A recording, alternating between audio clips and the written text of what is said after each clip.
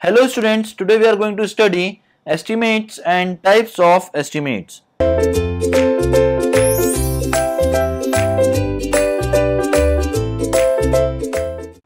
Estimate is a rough calculation on quantities of various works and their expenditure done by the experts of the relevant field before the execution of a project. Accuracy of an estimate depends on the experience, ability and judgment power of the estimator. It is the process of calculation of material, total expenditure over material and their respective valuation. It means that estimate is generally done for the calculation of quantity of material, total expenditure over material and their respective valuation. Estimation is done to determine the probable cost of construction. A good estimate should have the minimum variation with the actual cost. Now we have various types of estimates that is preliminary estimate, plinth area estimate, cube rate estimate, approximate quantity estimate, detailed estimate, revised estimate, supplementary estimate, annual repair or maintenance estimate and the last one is extension estimate. Now we will see one by one each and every type of estimate in detail starting with the preliminary estimate. Preliminary estimate is required for initial studies of various aspects of a project to decide the financial position and policy for administrative sanction by the competent authority. Now preliminary estimate is generally prepared for taking the administrative sanction by the competent authority. In case of commercial project, irrigation project, power generation plant, the probable investment and benefits are roughly calculated in preliminary estimate to decide the necessity of the project.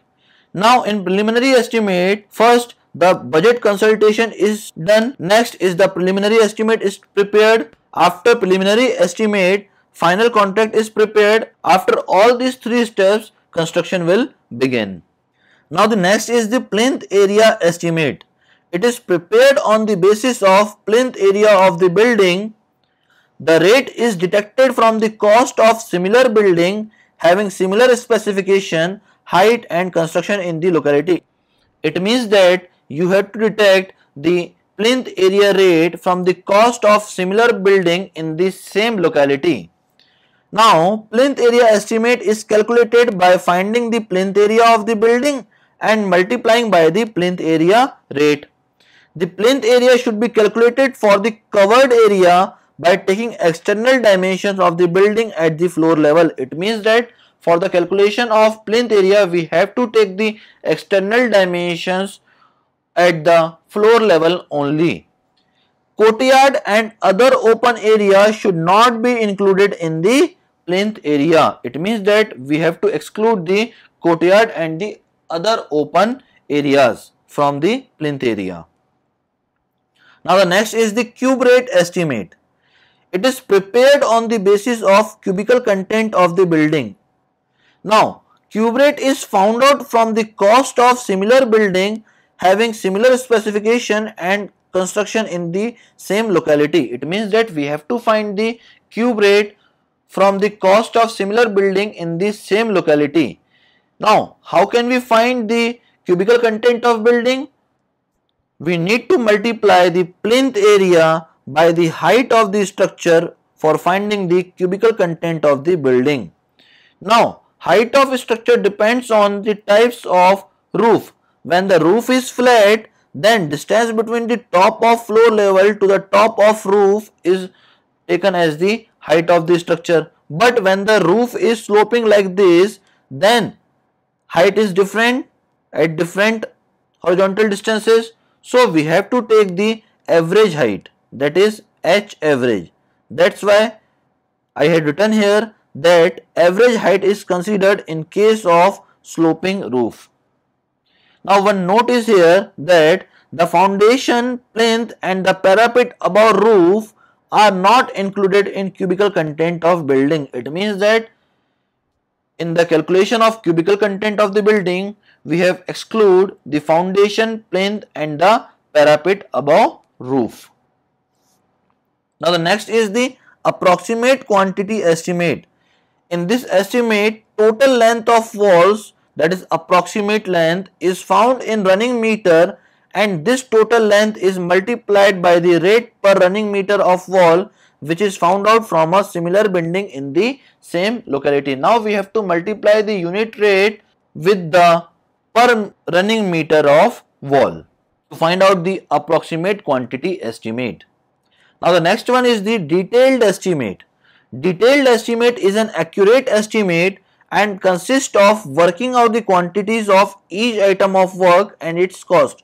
Now it is the most accurate estimate because in this estimate we will calculate the quantity of each item of work as well as the cost of each item of work very accurately.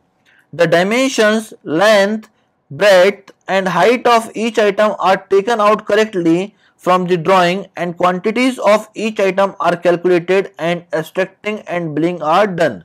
Now after the calculation of quantity of each item we have to prepare the abstract sheet as well as billing is also done. There are two methods to determine the quantity of each item. The first one is long wall and short wall method and the next one is center line method. The first method is the long wall and short wall method or it is also known as individual wall method. Now in this method the length of wall is calculated and the entire plan is divided into number of long wall and short wall. It means that if we have the plan like this, like this, this is the thickness of the brick wall so we will divide this whole plan into number of long wall that is two number of long wall as well as two number of short wall.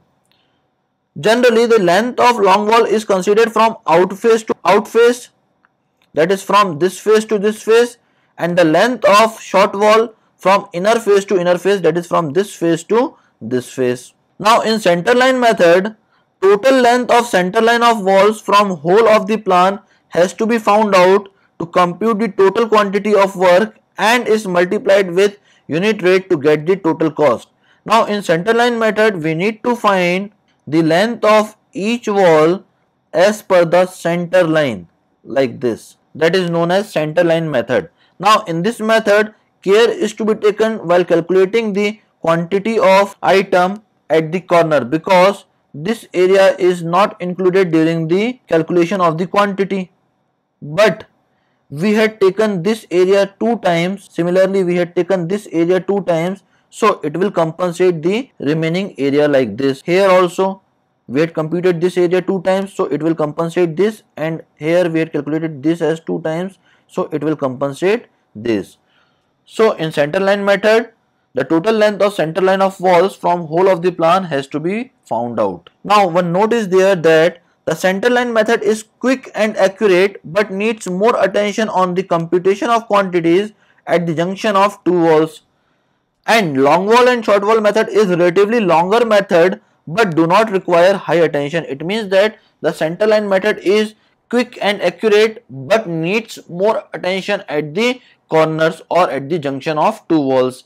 But long wall and short wall method is relatively longer method but do not require high attention. The detailed estimate is based on two legal forms as following. The first one is measurement sheet in which quantity of work is filled and the next one is abstract sheet used to find the cost of the work.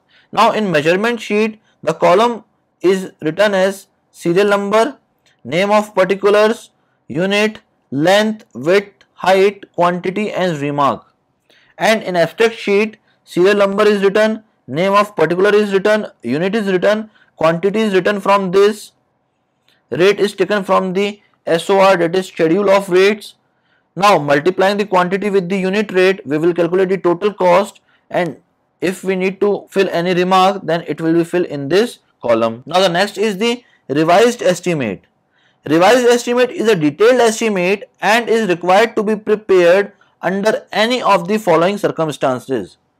Now when we prepare the revised estimate when the original sanctioned estimate is exceeded or likely to exceed by more than 5%. It means that when the original sanctioned estimate is likely to exceed by more than 5%, then we have to prepare revised estimate. Or the second circumstances is when the expenditure on a work exceeds or likely to exceed by 10% of the original sanctioned amount. It means that we have to prepare the revised estimate when the expenditure on a particular work exceeds or likely to exceed by 10% of the original sanctioned amount. Now, we have to give a comparative statement which includes the reason of variation. Now, the next estimate is the supplementary estimate. Supplementary estimate is a detailed estimate and is required when additional work comes into account during the execution of sanctioned project. It means that during the execution of sanctioned project, if any additional works comes, then we have to prepare a supplementary estimate. Now the next estimate is the annual repair or maintenance estimate. Now annual repair or annual maintenance estimate is a detailed estimate and is prepared for repairing and maintenance purpose only. It includes whitewashing, minor repairs, etc. This estimates about 1.5% of total capital cost of structure. Now the next one is the extension estimate. After construction, when some more construction is to be done, the estimate prepared is known as extension estimate. It means that when the old construction is likely to be finished and if some more construction is to be is need to be done, then we have to prepare the extension estimate. Now one note is there that it does not include provision of doors and windows. Now all the estimates is finished now we will move to the contingencies. The provision of contingencies is made for incidental expenditures incurred during the execution of a project. In an estimate, a separate amount equals to 3 to 5 percent of total cost is provided for contingencies. It means that if certain incidental expenditures comes into account, it means that if demonetization occur or if anything occurs, due to which the cost of particular item increases. So we have to take certain care of increase in the cost of certain item by taking a particular percentage before the starting of the project that is 3 to 5 percent of the total cost is provided for contingencies. Work charge establishment is the provision of basic facilities for the staff which will be involved in the execution of a project.